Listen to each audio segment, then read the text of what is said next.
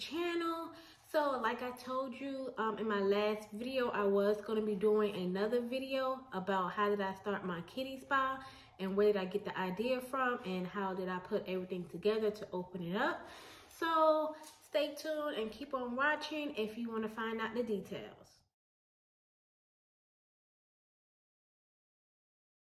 all right so as y'all can see i am in my garage right now. Um it's kind of too noisy in my house to record a video and early today i didn't really have that much time. Um i took like a nap and i had to do something with my older son. So i'm in my garage as y'all can see the it's not painted yet. I think i talked about this in my um we opened up a kiddie spa I think it was in that video what I talked about the garage being done and it wasn't, you know, painted all the way. So that's what you see in my background. So we're just gonna go ahead and get into the video. So I um, want to say in 2022, I want to say last summer, my sister took my two daughters. Um, she had said she had a surprise for them. So she took them um, to this mall. I'm not going to say what location and, you know, put where we went to, but I will put the name of the shop right here that we went to. So we end up going there and it was a kiddie spa and they had their own chairs and they got their little feet done. Um, nails polished, they had little rings and they wore their little robes and stuff. And that was in, I want to say June. So you know, I took pictures, sent pictures to my boyfriend. He had liked the idea. So once we came down here, as for many of y'all might not know, I am in South Carolina. So he said, well, let's open, you know, the same thing that they have up there down here. So I was just like, okay, well, you know, thought he was playing around and stuff. So he said that he was serious. So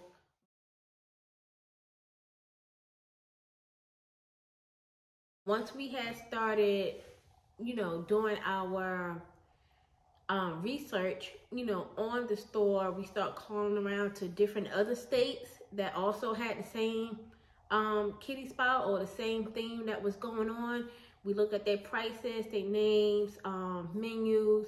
We called around and asked if they had to have um, cosmetology license or nail tech license. Most of them said yes, some of them said no. It depends on your state. So that would be number one that you can write down. Um, I will, like I had in my last video, a checklist of what you can go by if you want to open up your kiddie spa. So number one is check to see if your state requires a cosmetology license or a nail tech license. So you will want to do that before anything. After you do that, then and you know, step two, you can research all, um, doesn't even have to be in your state. Like I said, we called out of state. I want to say we called Atlanta, we called New Jersey. Um, I want to say North Carolina. We did go on a couple of websites that did have the kiddie spa and we looked around. So yes, you do want to, I think I'm on number three. I'm not sure, but if not, I will, you know, like I said, I will list everything below. I didn't have time to write it down this time.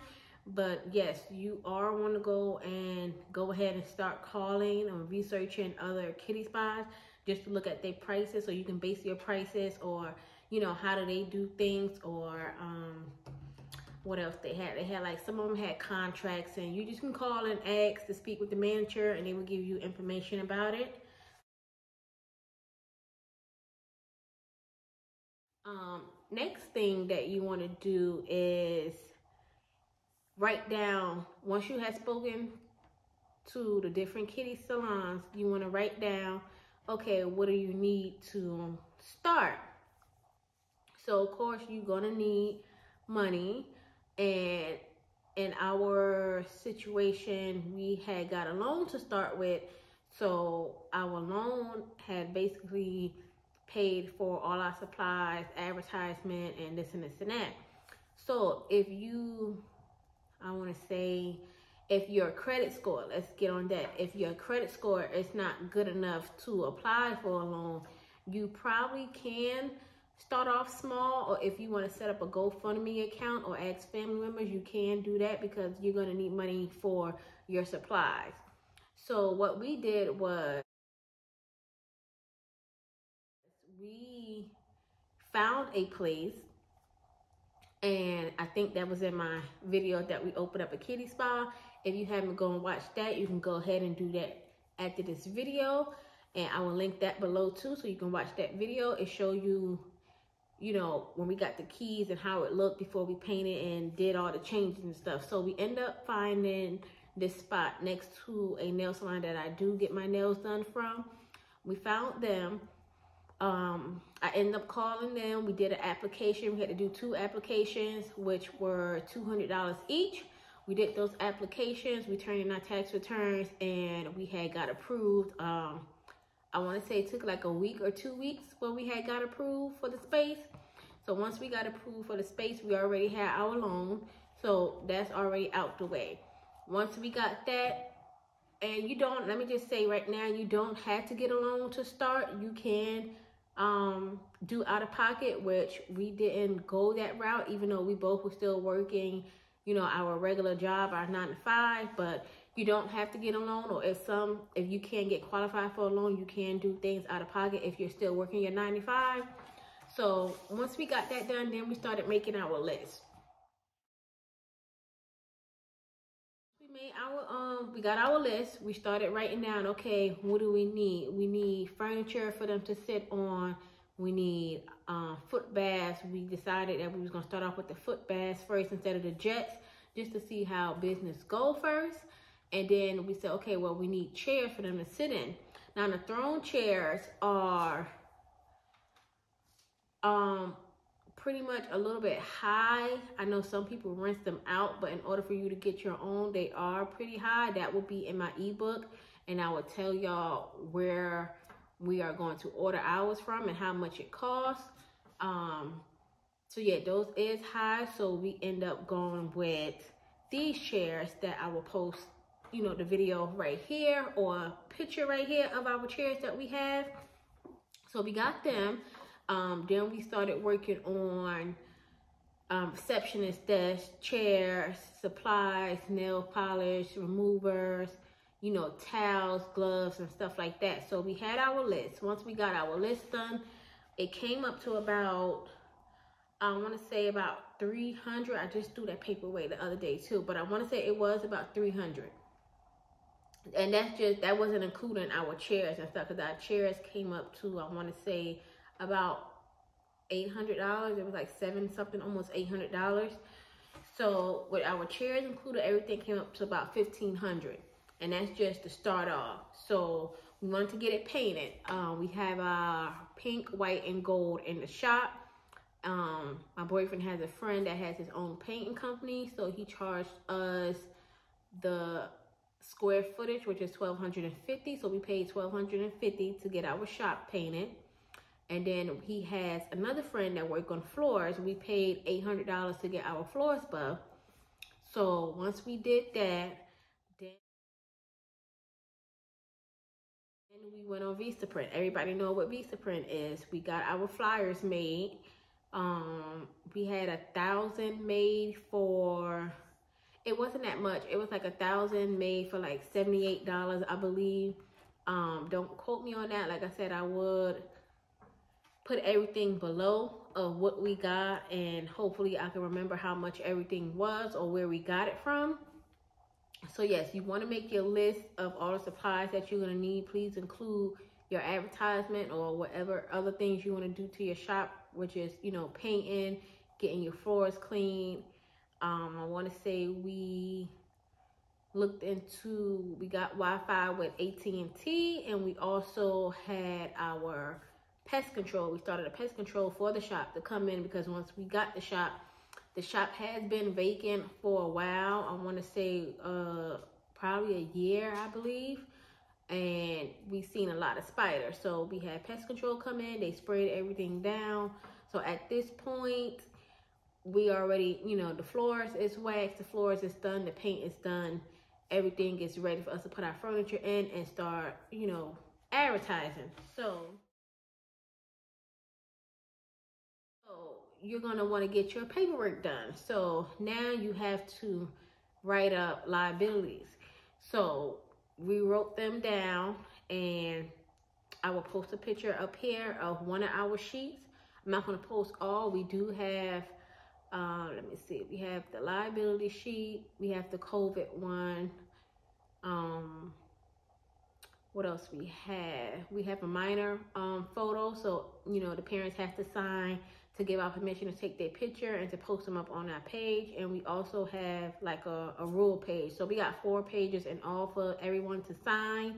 Um, your, your liability page, you want to list everything that no one can sue you for because a lot of people do like to sue for any and everything being that you're working with kids. So I think one of our one of our rules on there is saying that we don't use any chemicals other than the nail polish and the polish removers. We don't clip any fingernails, toenails. We don't file anything. We're not going to be responsible for, you know, anybody, you know, saying they cut themselves or we cut them, but we just only polishing and taking off. That's all we doing.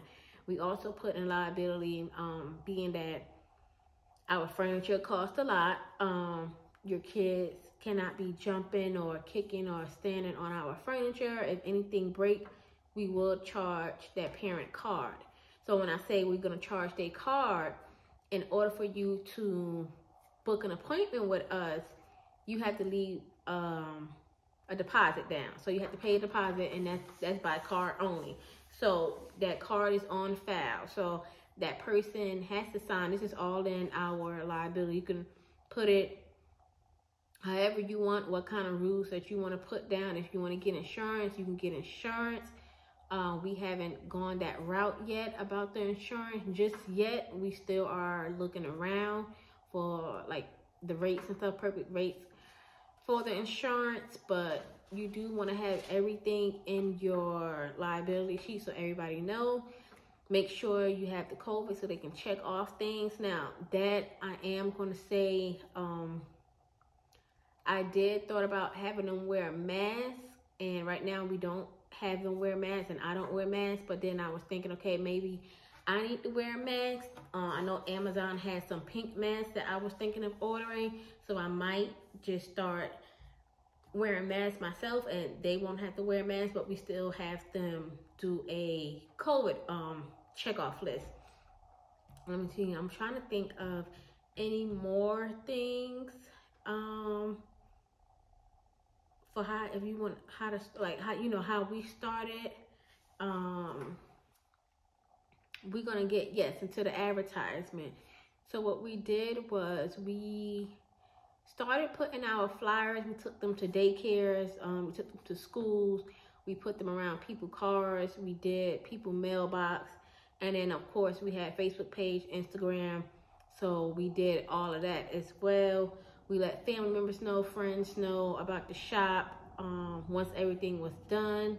And then we started planning our grand opening.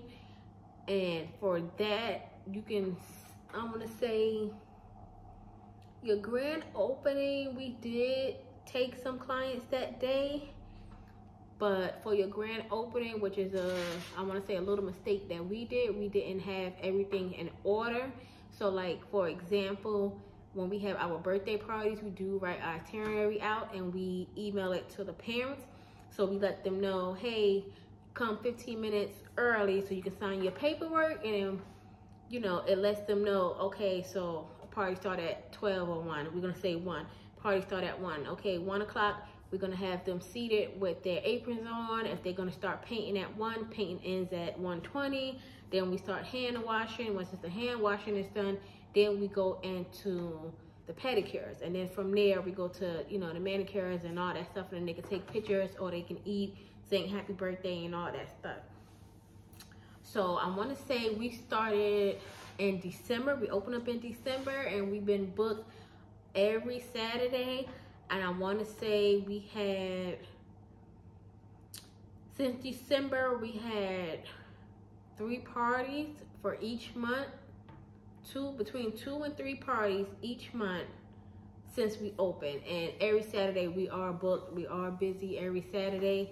Um, I think since we opened up, I had one Saturday, one free Saturday, but they seem to like the parties. Um, we're going to be adding more to our um, website of different parties and stuff like that. Well, we actually did. We already just got our brochures out, which is another thing you can write down. Like I said, I don't have my book with me, but I will write down all the steps that you need. And I'm gonna put it here and I'm gonna list them below just for anybody that needs any help. I had someone comment and she said that she was trying to open up a kiddie spa but didn't know where to start. So yes, I will link that below. And like I said, I am working, I'm working on my first ebook. So the one with the kiddie spa, that's gonna come I want to say it's going to come out in May. Between the end of May and the beginning of June because it's a lot that we that we did to open up this shop. It was an overnight um it was an overnight thing like we just thought of it out the blue but it did take a lot of work for us to even start so right now um it's me and my aunt and my boyfriend my boyfriend he's still working so he been in the shop. I think we had like one party, if it was like a big party on a Sunday, and it's me and my aunt so far. So we don't have any employees right now, but like I said, we are booked most of the time, most of the week, and every Saturday we always book. So that, you know, it splits up the time, but having your customers um, be based on appointments. It kind of helps out. We're not doing walk-ins right now. We don't do walk-ins just because we don't have enough staff to do the walk-ins. But it's, you know, if you want to open up your salon, it's, you know, um, up to you how you want to do walk-ins or appointments. I like the appointments better because that way the person that's coming in for the appointments don't have to worry about other people um, being around them or in a little section or in a little party. So we do by appointments. So I don't know how long this video is, but I'm trying to give all the details and everything else. Um, I'm not sure if I talked about our supplies. Everything that we got was from Amazon. Um, trying to think we got stuff from other places. We got little stuff from other places like TJ Maxx. Um, I want to say Five Below but most of our stuff came from Amazon and I'm not sure if we got anything from Walmart, but I want to say most of it came from Amazon. Um, all of our items and stuff like that will be in the ebook, or I still have that where we got our chairs from, the link to our reception desk, all that will be in the ebook for y'all to get. And it would just tell you and go into more in depth of what you need to have or what credit score you need to have to be able to go for um, commercial properties and what um, income that you need to have. I know when we did our application, they said our income had to be twice the amount, which is why we did a co-application. So we put both our incomes together, gave our tax returns and all that stuff, and we just got approved and stuff. So I don't know how long see. I don't know how long it would take for someone if they do have that question or how long would it take for me to, you know, help open my shop. It's up to you. Like I said, once you call around to other places and, you know, figure out if you're going to need a license, that is another thing. Um, if you need a license, then uh, don't recommend you open up a shop right at this moment because then you would have to go to school. Some people um, would do the, I think the cosmetology is like, it depends on different state between 1,300, 1,500 hours, which I think that's like a whole year or nine months of schooling, or you can just go for a nail tech, and I think that's about uh 90 days i believe 90 or 100 days something like that but it's, it's short about three three months or something in order for you to get your nail your nail tech license. So um, it all depends on what state you're in, your requirements and stuff like that.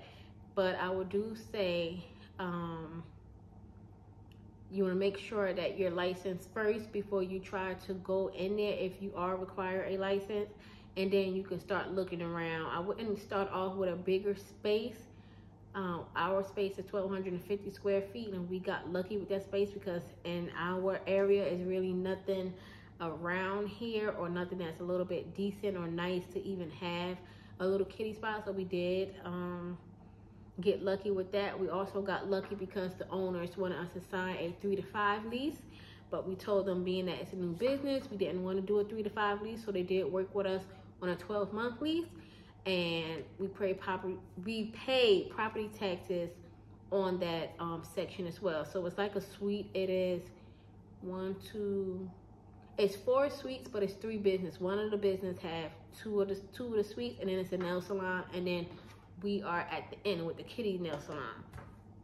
So like I said, it's pretty um you know everything is not hard to start off. You just need the resources and you need the money. Um, don't let nobody tell you oh i started my business off with zero dollars or fifty dollars. You're need you're gonna need money to start this business because you're gonna need the supplies and you're gonna need money to advertise. You're gonna need money for your space your security deposit you're gonna need money. So um, like most of these people on youtube they do they will lie to you and tell you that they didn't use money or need anything to start, you will need money to start, whether it's a loan from somebody or you getting money from somebody else.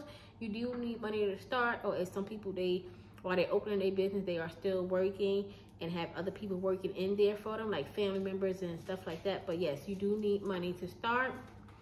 So I want to say that wraps it up of everything that we did to start our kiddie spa like i said where we got the inspiration from the business is called inspiration from. The business is called glitter and glam and they are in new jersey. I will put their name down here and y'all can go ahead and check them out. I will also link their website down below as well so you can get the idea of how we came up with ours.